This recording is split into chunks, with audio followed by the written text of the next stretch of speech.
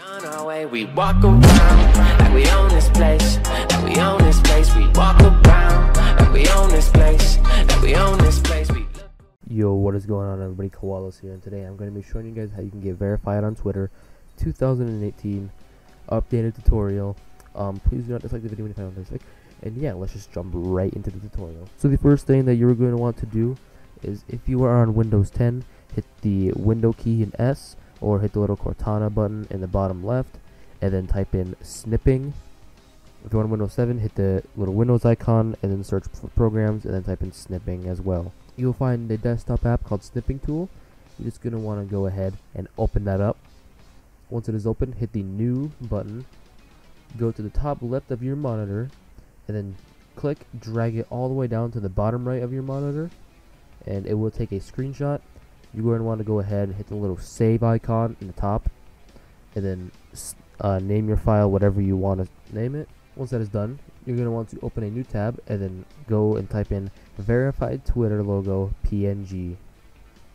You're going to find the first image, save it onto your computer. As you can see, there it is. Just go ahead, right click on the image and save it. Once you have it saved, you are going to want to go ahead and type in backgrounder3 into your search bar and then click the first link that shows up. It'll also be in the description. Go to type and then click YouTube thumbnail go down to text plus images, hit the little picture icon, click on sprite 1, go down to select, and then find your image or the screenshot that you took. So there is mine, it is loaded up. Then you're going to want to hit the picture icon again, and it'll bring up sprite 2.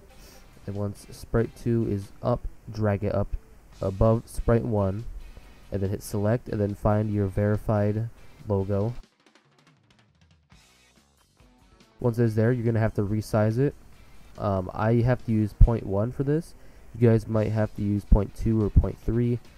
Really depends on how big the screenshot is. But mine happened to be 0.1.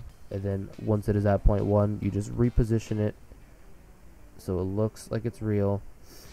And boom, there it is. Just hit download background and it'll be saved to your computer and you can do whatever you want with it.